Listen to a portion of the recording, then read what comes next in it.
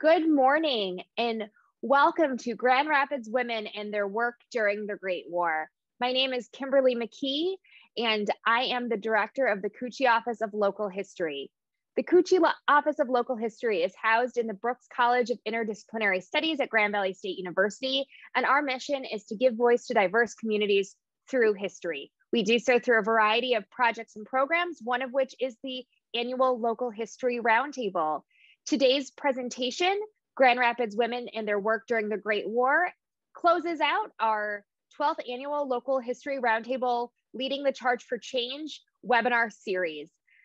If you're familiar with the Kutsche office, you know we usually have a day long set of events in March, but this year, because of COVID 19, we've brought it brought it to you virtually through a series of three different presentations. We're really excited about Katelyn VerMerris today this presentation is being recorded. That recording will be up on our website and our YouTube channel later this week. Uh, please comment in the Q&A if you have questions for our speaker. Please note that we will not get to all audience questions, uh, but we will try our best. Um, and so thank you so much. And I'm pleased to introduce our speaker. Katelyn Bosch VerMerris is the director of, of Zeeland, the Zeeland Historical Society. She received a BA from Calvin College and an MA in Public History from West Virginia University. She has worked with many West Michigan topics, including Grand Rapids women's roles in the Council of National Defense, the 1918 suffrage movement, and the cultural integration of Hispanic people into Holland, Michigan. VerMerris also works as a freelance researcher and writer and is recording secretary of the Greater Grand Rapids Women's History Council. So if you can join me in welcoming Katelyn, I'm so excited to listen to your presentation today. Thank you, Kim.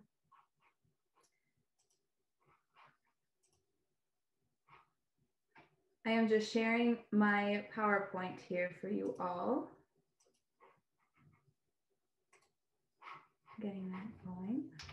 I thank you all. I am so excited to be here. This research is something I've been working on for a couple years.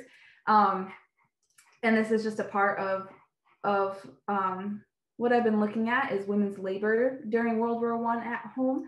So I am very excited to be here today to share this research with you. Um, just a caveat I'm sharing, just so you all can feel my pain. I lost a lot of my notes last night in a computer crash. So I rewrote a lot of it this morning and last night. So if there's some um, awkwardness where I'm trying to figure out what I wanted to say, I apologize for that. So um, today we're talking about women and what they did at in Grand Rapids during World War One. We're going to start with some national context, and then we'll move through the specifics of how women organized to assist with labor, um, both volunteer to and also um, the work that they actually did.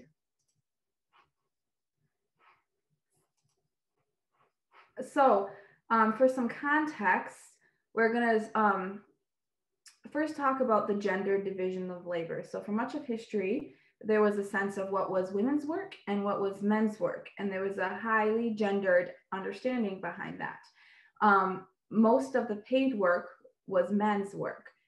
So women's work um, was often seen as an extension of their duties and their sets um, towards the home. So women's responsibility was to take care of the children and the home. So any paid work they did um, had to be an ideological extension of that. Um, so when we talk about the type of work women did, a lot of times there's um, maternalistic tones beneath it. Um, one of one of the phrases that scholars use to talk about this work is called pink collar. So as women expanded into paid labor, um, a lot of times it was in beauty industry, nursing, or clerical work, or other types of work that was an extension of that maternalistic instinct. Um, so this work often demanded basic education and literacy, um, but it still fit within the idea of women's roles. So that's where you get, um, we'll talk a lot about clerking and business. Um, there still is a sense, you still need some education to do that. You still need to be a um, good worker to do that. So um, there's also in history um, a hierarchy for women and what sort of roles that they did. So white American women um, were a lot less likely to work, and if they did, it was more likely to be in skilled positions, such as teaching or clerical work that required some um, additional schooling. If they were married, they were extremely unlikely to work before the war. Many European immigrants uh, worked in factories when they arrived, and if they were single, they were also unlikely to work after they were married, though.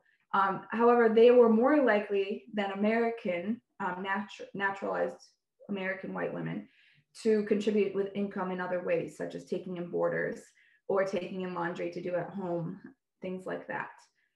African American women were more likely to be in the domestic or unskilled fields. Um, African American wives, so married women, were eight times more likely to work outside the home than white, married, or other um, racial groups. There is also, um, this was because African Americans in general were paid less, so their husbands were earning less. So both um, the women often needed to work to contribute to the family, and so still kind of an extension of their duty to their family. Um, less than two percent of women in the national nat, in the um, census in 1910 worked in skilled positions. So um, they were more likely to be domestic workers or agricultural than teachers or clerical work. Um, this graph shows US female labor participation in 1890 to 2005. So it goes way past the time frame we're talking about. But I think it's helpful to show the um, broad scheme of what we're talking about for women's involvement in the labor force. So from 1890, there was 18.2% of women who participated in paid labor.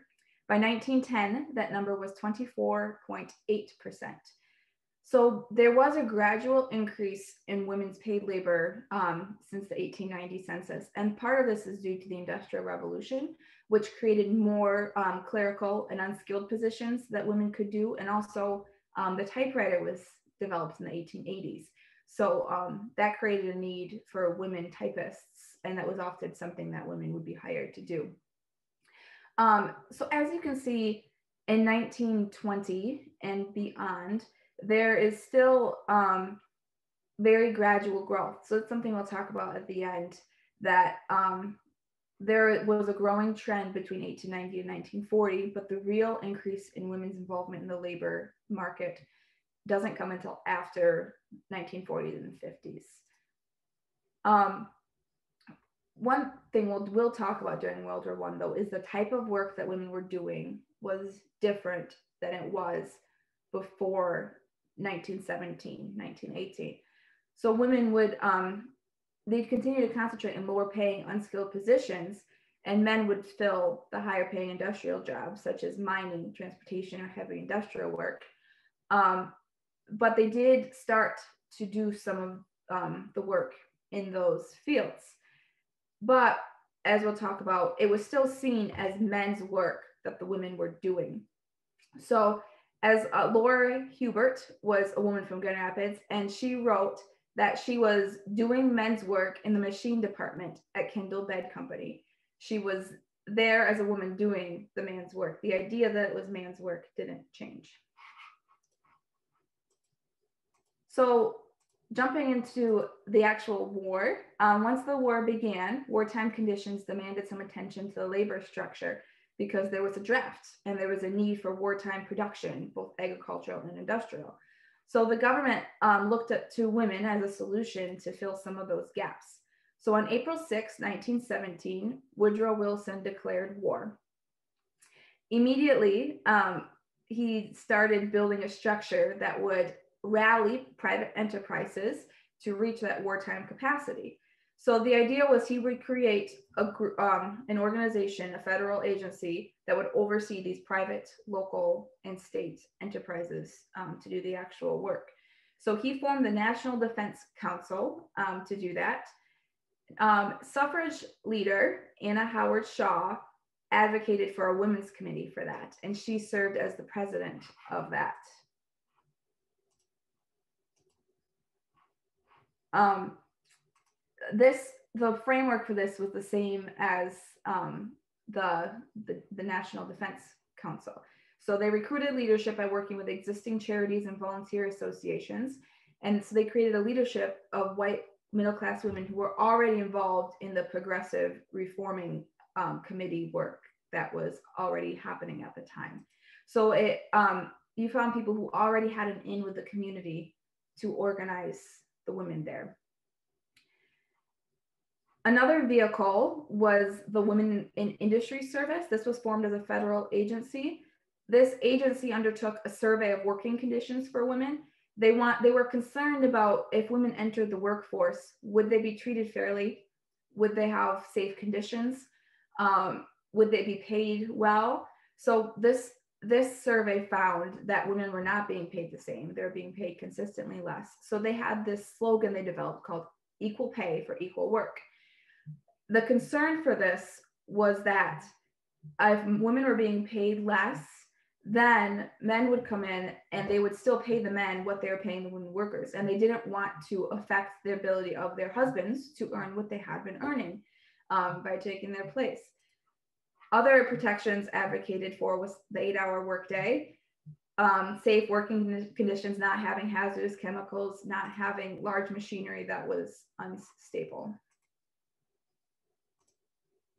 So in Grand Rapids, when you look through the material from the time, you can see that the war permeated everything. Um, this was very visual when you look through the papers. The Grand Rapids Herald is the local morning paper, and the Grand Rapids Press is the local evening paper. So this was the subject of news articles, advertisements, wanted ads. You could see it throughout the whole paper. And the Grand Rapids Herald also printed a column every day, which was devoted to women's work in the war. And every Sunday, they ran a full page spread, both sides, um, that was called Grand Rapids Women and Their Work in the War. So these pages or these articles praised the work of women around the city and showed other ways that women could get involved if they weren't already doing war work. So headings included um, the faithful workers for Uncle Sam and the one on the screen. If you were a cherry, would you fall into the basket for women who were picking cherries? Um, faithful workers for Uncle Sam, side note, Uncle Sam was developed as propaganda during World War One. So rhetoric um, in these articles aimed to empower women.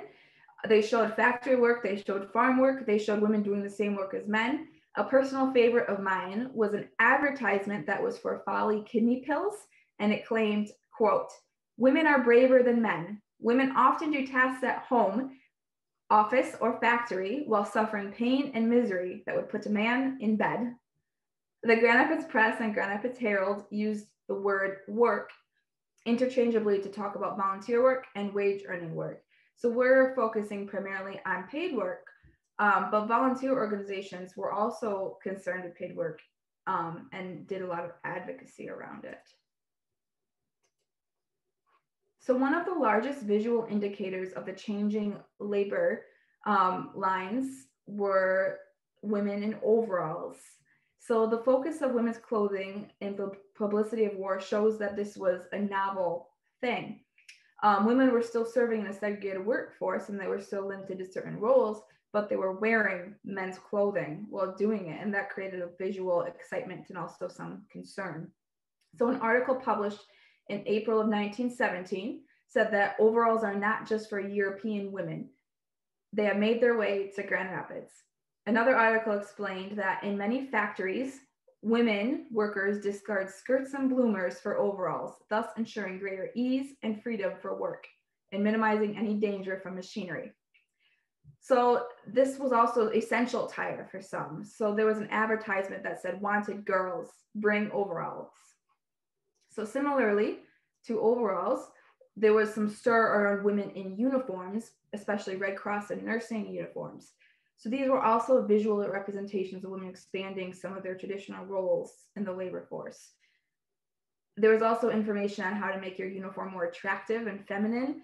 Um, and so something to keep in mind too so there we talked about women in factories um, and entering some of the munitions fields and railroads and even if i don't touch on that this was still things that were um, permeating the newspapers and what people were reading and it still caused a stir too, even though definitely women were wearing overalls and uniforms in Grand Rapids as well. So now we're going to jump into some of the work um, that was taken up during the war specifically. So first of all, we're going to talk about some of the volunteer organization around labor. So this, um, the Grand Rapids division of the Women's Committee of the Council of National Defense, it gets kind of wordy as you start talking about the local regions, um, undertook this huge registration campaign. This was the largest undertaking of the committee. The Michigan division worked, worked for months to promote this campaign. Um, they did a promotional video with the governor, who was Albert Sleeper, and signing the proclamation for the registration campaign. They hung posters in storefronts. They handed out flyers on the street. They went to churches. They went to um, factories to talk about it. They trained over a thousand registrars to interview women and record their information for this registration. Women over 16 could register, any woman over 16. In Michigan, they did register over 900,000 women, and in Kent County, over 23,000. And we actually still have those cards at the Grand Rapids Public Library, and they're digitized. Um, the registration campaign was not actually to do com- compulsory labor. It was to get us a survey of what skills and interests there were in the community so that they could pair people with ward needs. Um, so they were very clear in their communication of when you register, we're not going to draft you. It's not the same as what the men had for the draft. After they launched the campaign, um, they put stations all over the city to register women they did special attention to women in factories. Um, and they, they have the goal of placing women in the war work. This um, the flyer on the screen was one of them um, was a popular flyer that they used. The spirit of women power. Women serve your country where you can. Register. So um, registration was tied with patriotism in a lot of those same way that Uncle Sam and other propaganda um, tied to patriotism. If you're patriotic, you will register. The um, Grand Rapids leader was Grace Ames Van. She sent registrars to factories before the registration campaign was underway. Um, she said of um, the campaign to send women to factories, quote, the eagerness of factory girls to register for war service should be an inspiration and an example to women in all walks of life. In the first week of registration, there were 1,700 women who were enrolled from 30 different factories, 10 of whom, 10 factories of whom enrolled 100% of the female laborers in their, in their facility. Van Housen also chaired the Grand Rapids Division for Equal Suffrage Association, and this was pivotal in advancing women's suffrage, which women got in 1918 as well. So this is an example of what the card looks like. Um, at the top, you see biographical information, their name, their address, their race, their country of birth. They also gives room to talk about what type of service they want to offer and how much time they can give. It also records their occupation and where they're employed. Um, so there's just a ton of information here about women. It's a, it's a really good survey of um, women in Grand Rapids at the time. It also has 116 potential skills that you can either mark um, or say that you currently have or say that you want. Um, and we will talk about some of the trainings that they did for women who marked that they wanted certain skill sets to be developed. So the public library is working on getting the metadata for this all um, all cleaned up, which is something I'm very excited about because the data I think shows um, this really comprehensive look at what women were like and what they were involved in and where they lived and all sorts of information um, during that time frame. So some um, work that I did in regards to labor was to look at um, what type of fields were women in Grand Rapids looking in. We have national data, but what about the local data? Um, so about 52% a little over 50% of women marked their occupation as housewife. Um, there were also women who said they were unemployed. And um, I think that's an important distinction because the, a lot of women identified their occupation as my job is to be at home and take care of my family. Um, of the other women who did identify some sort of paid occupation outside of the home, this is where the chart is about. So I, w- I was interested in what type of work were the women who were getting paid to do work doing. Um, so the number one area was business, which I realized later clerking probably would have been more appropriate. So this includes stenographers, telephone operators, bookkeepers, um, the type of women that you think of as as um, helping clerk for a business. There were some who were um, some higher positions, but not enough to section those out. 18% identified as working in some sort of industrial capacity. So a lot of these were in industries that still seem to be an extension of women's roles. So there were a lot of women at Globe Knitting Works or um, industrial laundry facilities or canning companies or candy companies, things that were in food and clothing um, and industries that seemed a little more intuitive for women. There were 66 women who identified as four women uh, four ladies. So they were there were some women who were managing other women. Um, 11% were sales and retail. So this would be from your big department stores to your family shops. They handled um, marketing and selling and, and um, managing the cash register, etc. 10% were students, which if you think about the 16 age cutoff, that makes sense. 9% worked in education. So this was a lot of teachers, some music teachers, art teachers, elementary teachers. There were some who were in administration as well. 8% were domestic workers, um, housekeeping, boarders, things like that. Some women who identified as house or as um, homemakers or housewives also mentioned they'd taken boarders too. So some of those were still classified under housewives depending on what they listed first. Um, then 5% were in clothing and beauty, which is kind of a category I made up as women who take care of the appearance of other women. So these are seamstresses and hairdressers and manicurists, things like that. 3% were in the medical field. A lot of these were nurse, nurses or assistants, um, but there were a couple physicians, about five. And we also know from the Grand Rapids Press that these women organized to specifically donate and raise money for the war effort, the physicians. Um, 6% were either unoccupied, unemployed, or miscellaneous. So, what I think is great about local history is you have statistics and trends, but there's also these individual stories. And there were some women who didn't fit in any of these categories. So, there was a detective, um, there was a pension attorney, there were two who were undertakers, and there were about 60 women who were in some form of printing or publishing, and a couple journalists. Um, a brief look also, I'm trying to sort through with when women who identify their race as non-white, um, what sort of occupations were they doing? So this, um, there's a race category and a country of origin. I did not grab anything from the country of origin. So there could be other women such as Dutch, I know that were in there um, that that aren't captured here, but this is all the women who identified a race that wasn't white. And there were a number of cards that didn't have any race identified. Um, something interesting, a couple interesting insights from this chart. Of the 15 Polish women who are listed, there was only one um, that did not work at the same cigar factory as the other 14 women. They all worked at the exact same cigar factory. Um, if you look at women in the home in the fourth category, there are 30 out of 100, which is significantly lower than the um, whole the whole data, which was just over 50%.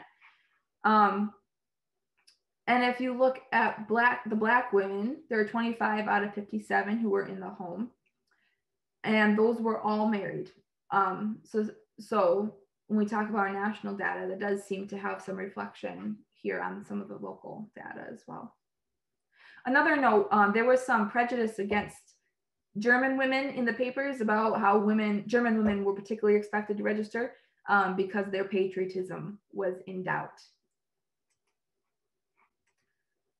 Um, so we're going to talk more dive into a little bit more about some of the specific areas where women were working. So um, clerical positions was number one. Um, there was a prominent growth area, and this was actually an area that the uh, Women's Committee identified as a high need area where they need more people. And it's also the only area that didn't decline sharply after the war. So women tended to stay in these positions. Um, Women's Committee worked to expand employment opportunities by working with the Board of Education. So they offered classes on office work, um, telegraphy, typewriting, nursing, housekeeping, and home economics. And Van Housen also oversaw the establishment of an employment bureau. And um, they also had a, co- a, course on motor, the motor course. So they had 25 women enroll to learn to drive. Learning to drive was something that was often expressed as a high um, desire in the cards. Women were also farming, which didn't show up in terms of explicit occupation in the cards, However, 10% um, of women did identify farming as a skill in the cards. Um, so many of these women grew up on farms or were needed occasionally to run their family farm. Um, farming was not received everywhere. In some of the national data, I found some um, high opinions that women shouldn't be farming, but it seems in Michigan that there wasn't as much of an issue with that. At a state conference for the Women's Committee, there were 90% of the delegates that said that they'd be willing to assist with planting and harvesting. Nursing was also a prominent need area identified. Um, the, the need for nursing was not only to go overseas, which a lot of women who already had nursing certificates were asked to do so, but to train them to fill vacancies at home. Um, so women were there were there were a lot of women who expressed interest in training for nursing and Mrs. Blodgett, who was the wife of John W. Blodgett, who's the founder of Blodgett Hospital, campaigned for two weeks to recruit women for training. And she also founded the Vassar Camp, which prepared over 40 women um, for a nursing career. And this is something that they could take with them after the war. In Michigan, there were 1,070 women, which was not counting Detroit, who applied for the nurses drive, which was a process for nurses to receive training um, and to enter the nurses reserve. By July of 1918, there were 60 nurses from Grand Rapids that had enrolled in the Nurses Reserve. Most of these were single, but there were a few young wives who um, whose husbands had gone overseas, so they were unoccupied. I also found an article in the in the Grand Rapids Herald that talked about a nurse who died in action from Grand Rapids overseas. So of course, we're also going to talk a lot about industry. Um, this chart shows the number of women in factories in Michigan across different time periods. So you'll see gradual growth um, between 19, 1894 er, and 1910. And then there's a large leap um, going up to 1918. So in 1915, there were 65,700 women who had registered as factory workers in Grand Rapids, and they had earned an average of $1.30 a day. More than 55 factories opened up hiring applications to women in 1917, 1918. Um, and in 1918, it was estimated that 20% more women were working in factories than before than a year before than in 1917. So some women also received training for supervisors, like we saw with the four women, the four women identified, four ladies, I guess sounds better. Um, to oversee other women and also gain a little bit more money. There was also um, instances of teachers who decided to work in factories over the summer, such as the Sligh Furniture Company, um, and when men left those positions to earn a little bit more money during the summer. Companies like the National Biscuit Company posted several adver separate advertisements for women and men in the same paper to make it clear that they wanted um, to fill both positions. So there were some women who um, saw this as an opportunity for women to prove their mettle. So there's a, a writer in the Grand Rapids Press named Katie Suffragist, who um, probably a pseudonym, who wrote, quote, while women in factories are doing hard work in unbecoming garments, their nails break, they are tired when night comes, women take pleasure in earning their daily bread. And there were a lot of women who talked about love liking their jobs. The, Helen Wagner was a elevator operator who said she really enjoyed it. Um, Katie suffragist also wrote, however, that she doesn't want a man's job. She wants a job. She doesn't want to demolish the home. So again, you see this tension between wanting to um, grow in your opportunities, but also maintaining the family structure.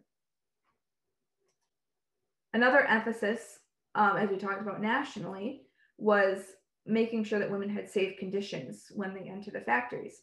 So local labor unions worked with the Women's Committee to form sub- a subcommittee on women in industry, which was um, which was chaired by Grace Ames Van Housen, like we talked about. The National Women in Industry Committee, which was led by Agnes Nestor, advocated for women to fill only necessary positions, and mothers with children should not um, fill those positions.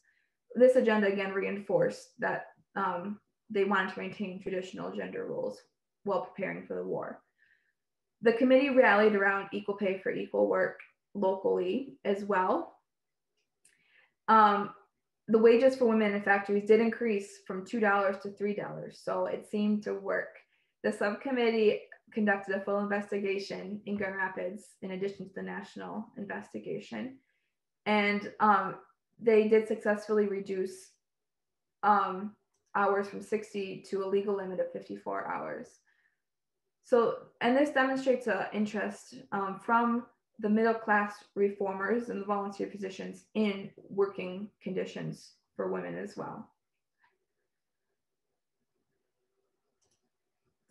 move forward. So I I stole this information um, on and Gay from a fellow board member on the Women's History Council, Julie Taber, who works at the public library. She did some specific look at what um, Berkey and Gay, the furniture factory, looks like. Um, in the summer of 1918, Berkey and Gay, like many industries, had a shortage of skilled workers as men were being drafted. So women went to recruiting stations to apply, like the one pictured. Reports would later say that there were fewer accidents when women worked in furniture factories and fewer infections.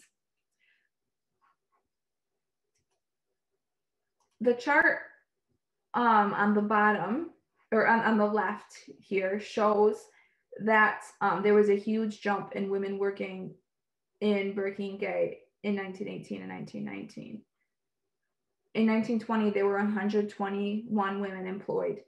Um, and that in 1918, there were 15% of the factory.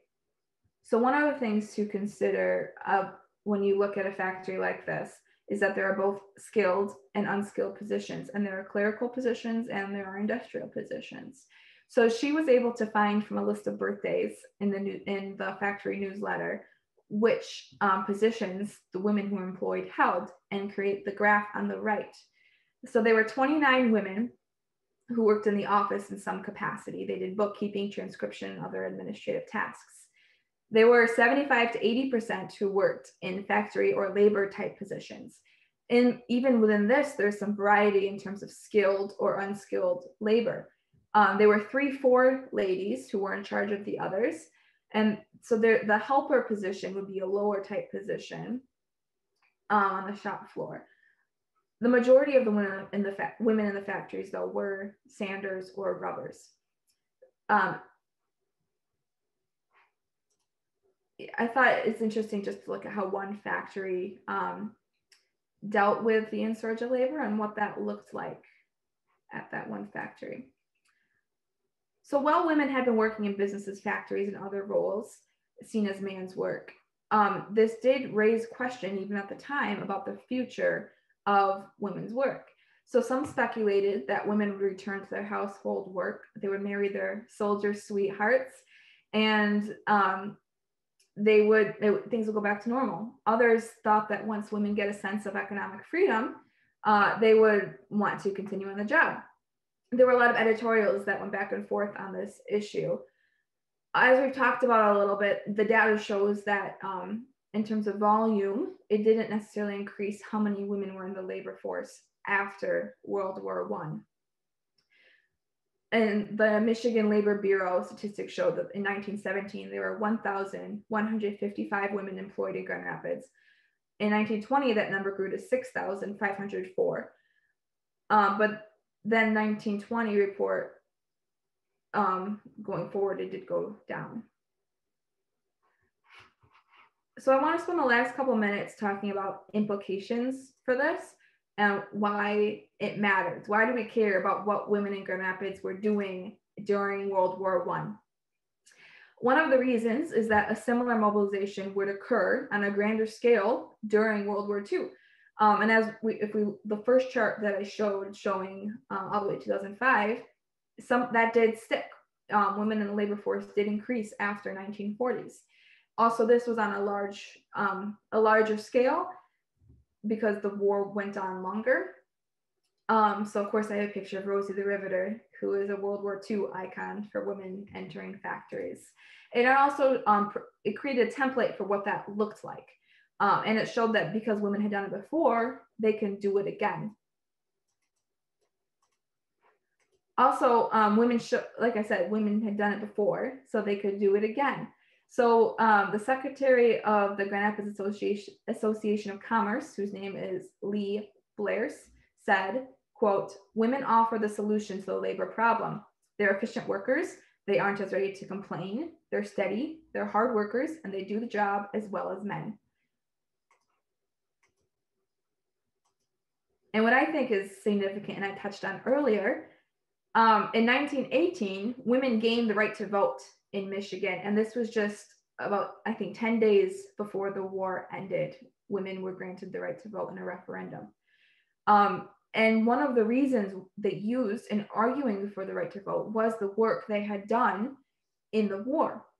So you see the graphic there, the right to vote as a war measure. This is all the ways on the left women are serving. All they want in return is enfranchisement.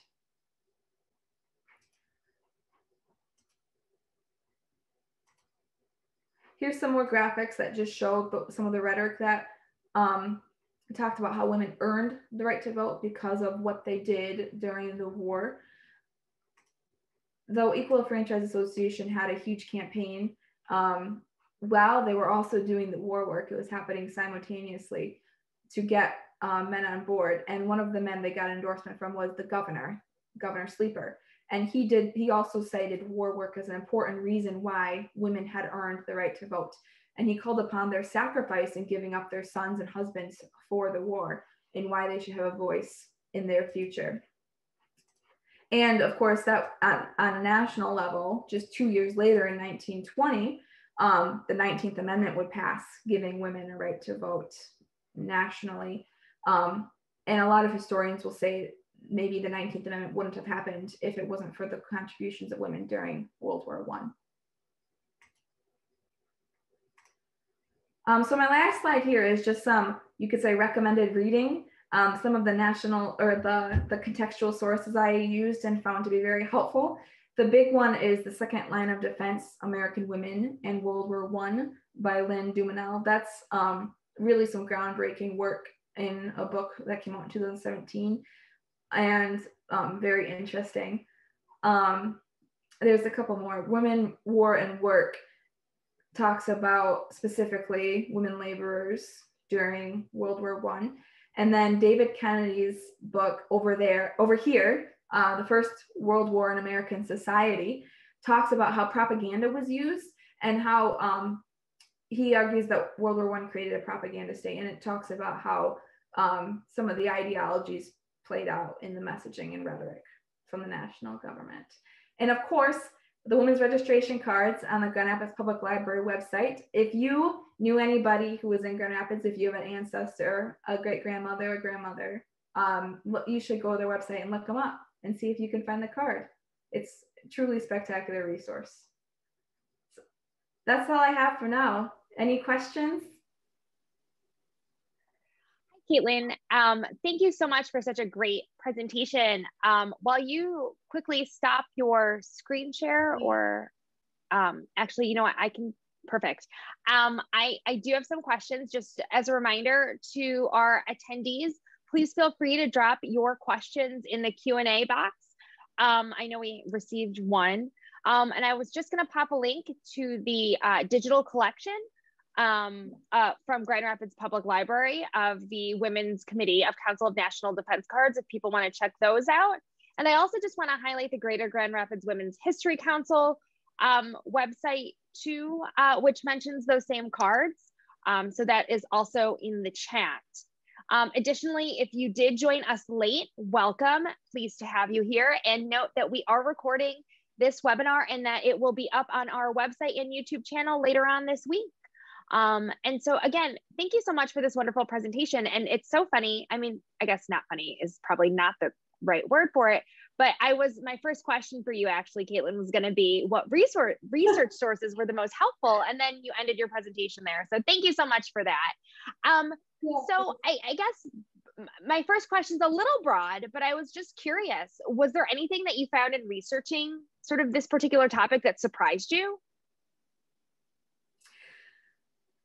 Um, I I think I was surprised at how um to be honest, I was surprised at how well the local data fit the national data. I had expected it to be um, to be some more variance. I don't know why. I just always think of localities as as being specific, and they were.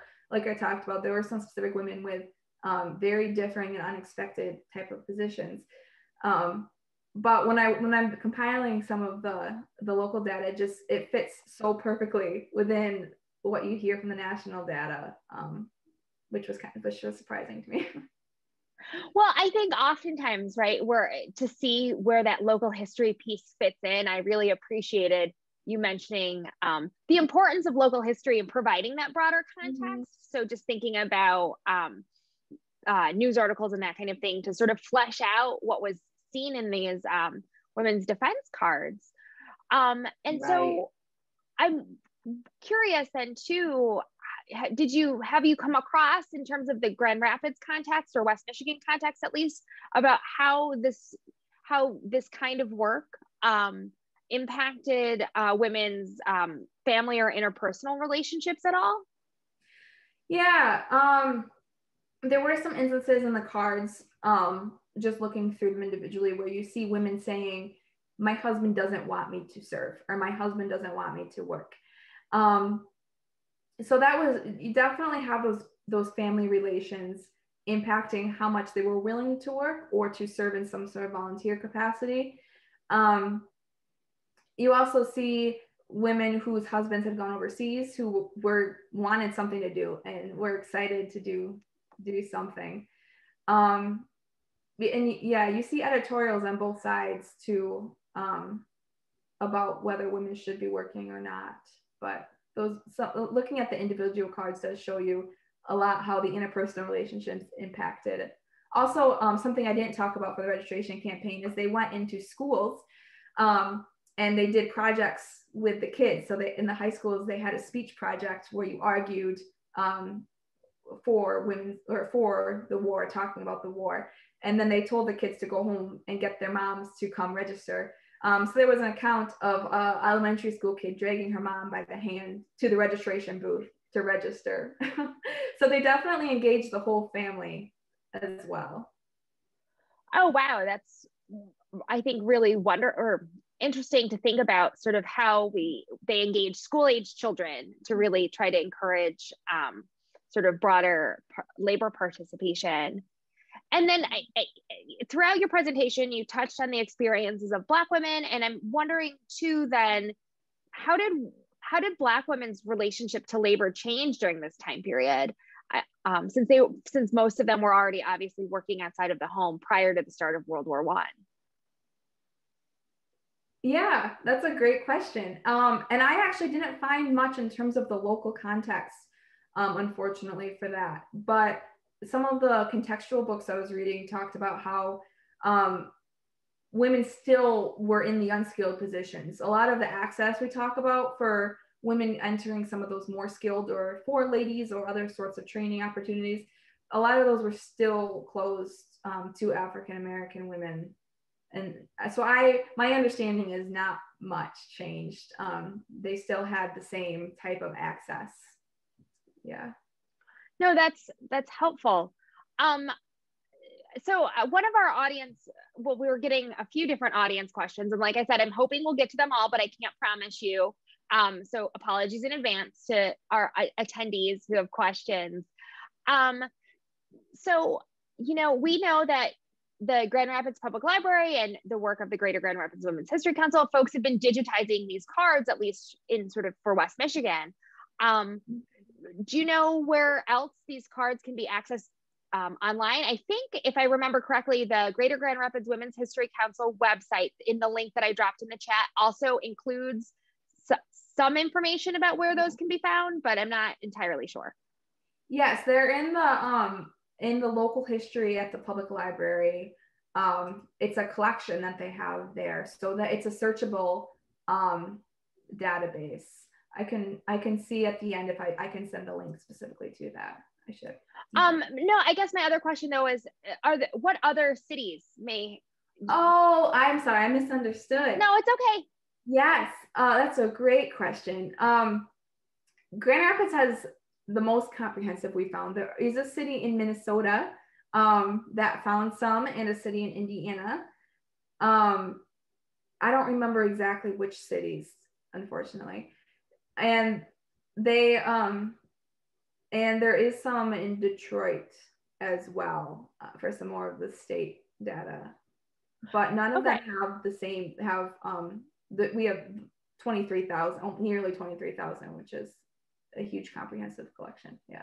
No yeah definitely. No that's that's really helpful. Um so then i guess just in terms of a little if we're taking i guess a more macro view in terms of the role of women uh, during world war one um, if somebody wanted to research the role of women in nearby cities such as holland what kind of advice do you have yeah which unfortunately a lot of the research um, is still on site. And with COVID, access to that is a little tricky um, or by appointment.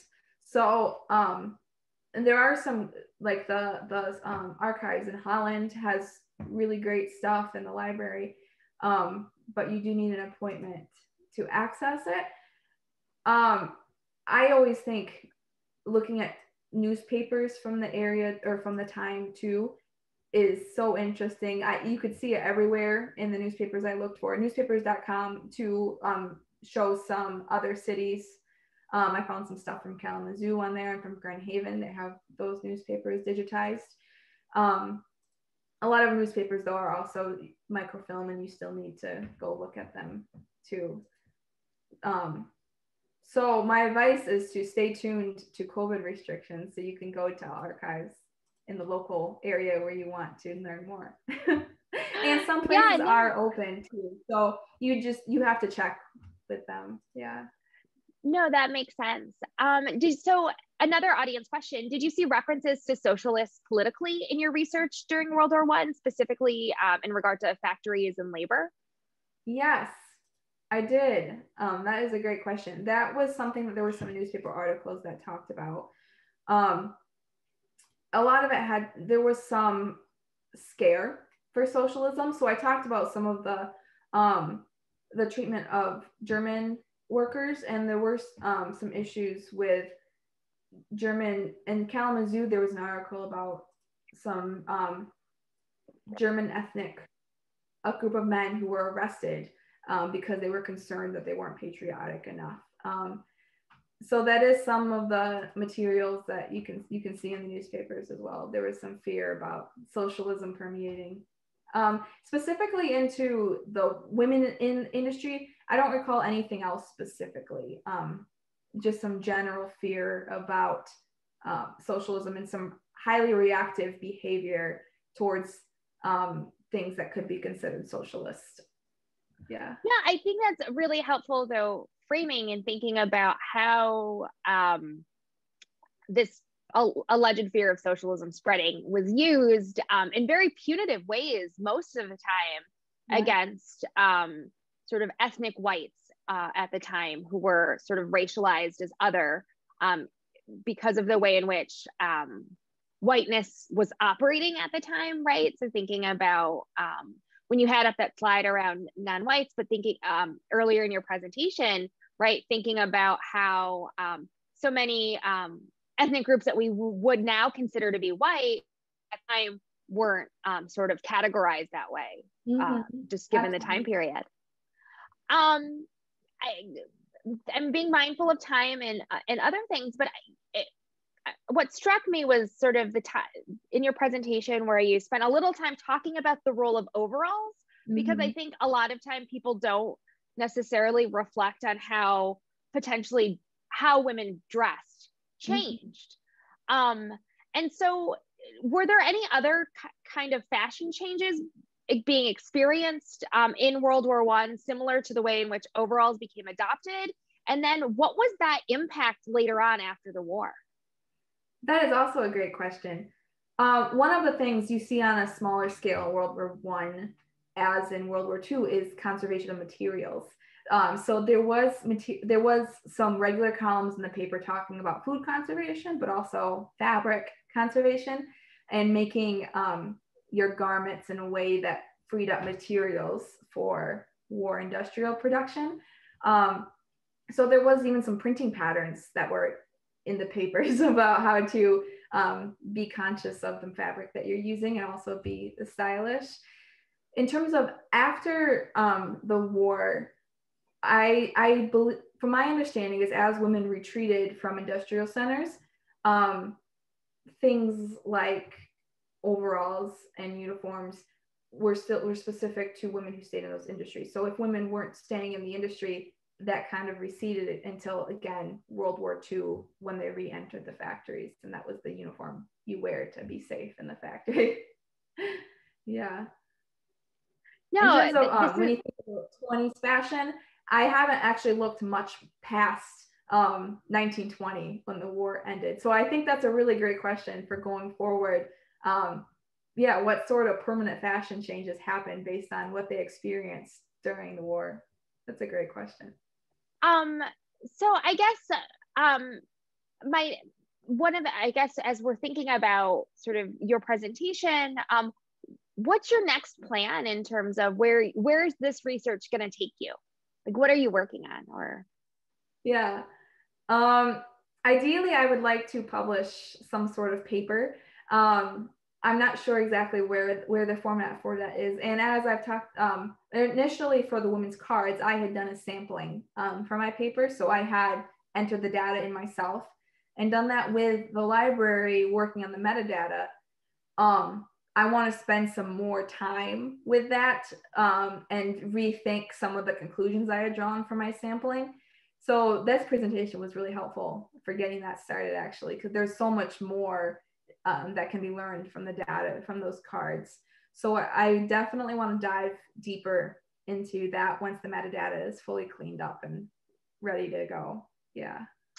Well, I just want to thank you so much um, for your presentation, especially given the computer woes. I can't imagine sort of what that felt like, um, sort of with a computer crashing. I think that's just everybody's worst nightmare. And I know we've all experienced probably our own set of technological snafus within the last year, uh, if we hadn't uh, prior to that. So I, I just want to thank you again um, for giving us such a wonderful presentation. Uh, when we do post uh, the video up on our YouTube channel um, later on this week, as well as our um, website, we'll also include the links uh, to the Women's Committee National Defense cards on our for the Grand Rapids Public Library digital collections, and then we'll also include that link um, to the Greater Grand Rapids Women's History Council website that also makes reference to those cards. I encourage folks if you do have specific questions about um, those cards or where you can access more of them. Maybe if you're interested in other regions outside of Grand Rapids, to contact either the Greater Grand Rapids Women's History Council or uh, the local history uh, folks at the Grand Rapids Public Library. I'm sure folks there would uh, be really helpful, be really interested in helping you. Um, additionally, uh, we're really excited that Katelyn was able to help us close out our 12th annual local history roundtable. Uh, we do, the Kutsche office does have another presentation though this Friday. It's part of our Grand Rapids Time Traveler series. And this Friday, um, if you're interested, you can check out our website for more details, including how to register. But on Friday, March 26th, uh, from 10:30 to 11:30, you can join us to learn more about local women's electoral history um, throughout the 1910s. Um, and so that presentation is going to be from uh, the Greater Grand Rapids Women's History Council's own Joellen Clary. So I'm really excited that Joellen will be able to join us. And again, that presentation is part of our Grand Rapids Time Traveler series. And then at the end of April, uh, we'll be joined by historian Karen Sieber on her research into the Omnibus College, uh, which is a traveling experiment in higher education. And she'll be discussing that um, in relationship to greater Wesleyan history. So thank you again for joining us, Katelyn. Uh, thank you to all of our attendees um, and enjoy the rest of your week. Bye.